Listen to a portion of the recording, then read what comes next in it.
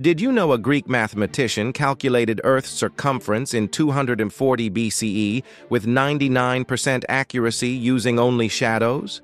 Eratosthenes noticed something incredible in the city of Syene. At noon on the summer solstice, the sun shone straight down wells without casting any shadow. But in Alexandria, 800 kilometers north, vertical objects always cast shadows at noon. He realized this difference could reveal Earth's true size.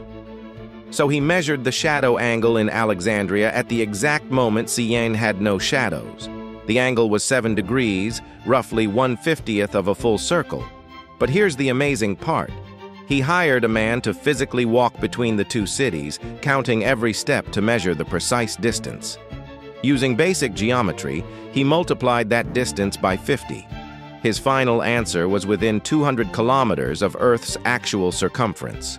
This ancient calculation was more accurate than the estimates Columbus used 1700 years later. A simple shadow revealed the planet's true scale before telescopes even existed. Ancient minds achieved what medieval scholars couldn't match.